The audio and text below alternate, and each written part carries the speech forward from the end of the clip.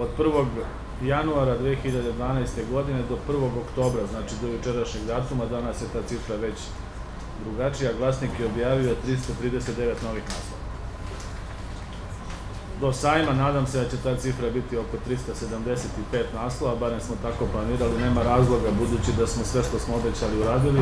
da taj i takav plan ne ispunimo. Unutar struktura ove cifre je da uvek, barem je tako u posljednje dve godine, u glasnikove produkciji ima između 25 i 33% prevedenih naslova, znači naslova pozemljenih iz nekih drugih kultura i drugih jezika, i da, a to je vrlo važno, budući da to kvalifikuje dobrog izdavača, uvek, a ta cifra raste svakoga dana, ima preko 80 knjiga koje su doživjele prvo, drugo, treće, peto, šesto ili već neko drugo izdanje. Na taj način se stvara jedna bazična struktura dobrog izdavača i ono što je vrlo važno danas spomenuti u mesecu knjige, u spremanju službenog glasnika za sajam knjiga, jeste da bilo je izdavača koji su se mogli podičiti ovim brojima u svojoj izdavačkoj produkciji. Ja pamtim i dugo pamtim, mislim da to nije moja dobra osobina, ali uvek su ti izdavači na,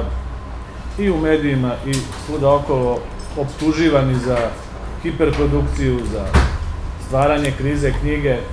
međutim, barem koliko to moja saznanja govore,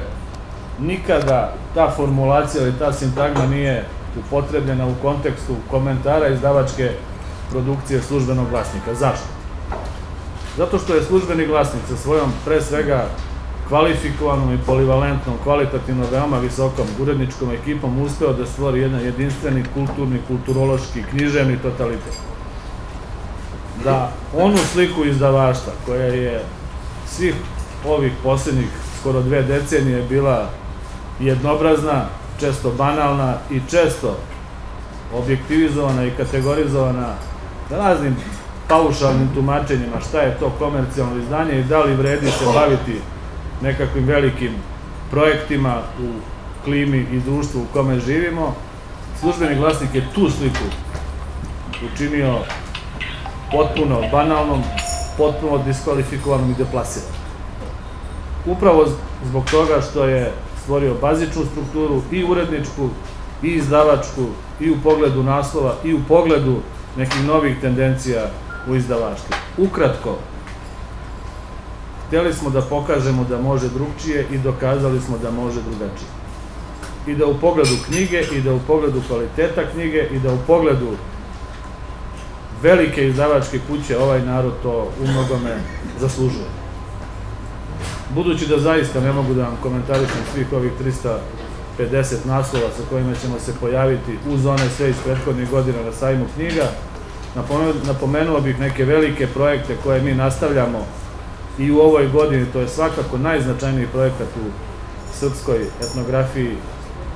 to je edicija Koreni, zatim frekvencijski rečnik srpskog jezika, koji naravno već par godina postoje kao značajni projekti u glasniku,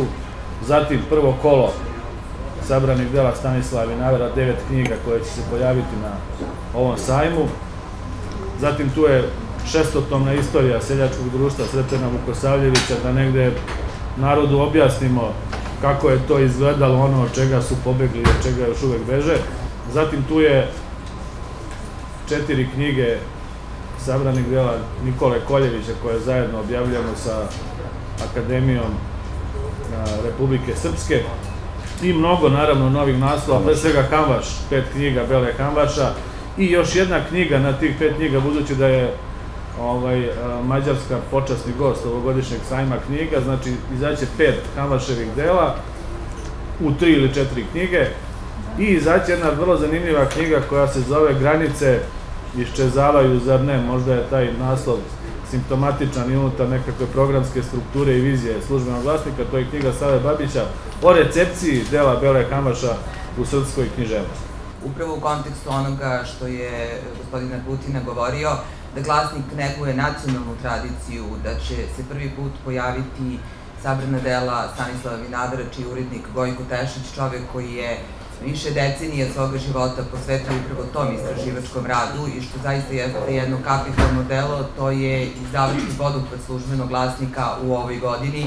Sa druge strane, tu će biti i prevodna literatura i ponosni smo da kažemo da će tri gosta iz inostranstva, to ste videli e, u ovom programu sajma, biti zapravo gosti službenog glasnika iz potpuno tri različite oblasti e, nauke i istraživanja. Dakle, tu će na stranu glasnika biti bivši ambasador Ivor Roberts, koji je do 99. bio ambasador Britanije u Srbiji, napisao jednu interesantnu knjigu e, Razgovori sa Miloševićem. Pored toga, knjiga koja je doživala četvrto izdanje, jedna od onih knjiga koju je pominjao Petar Argutina, jeste e, knjiga Abdullaha Sidrana i on će biti gost vlasnika na sadnju pisivati knjige, a pored toga, ako se osmijemo na teoriju književnosti, jednu od značajnih stubova u poslednjih nekoliko godina glasnikove izdavačke produkcije, to je bio jedan segment možda najviše zanemaren u srpskom izdavaštvu, Dakle, tu će biti izuzetan gost Magdalena Koch, e, čiju knjigu ćemo takođe objaviti pred sajam,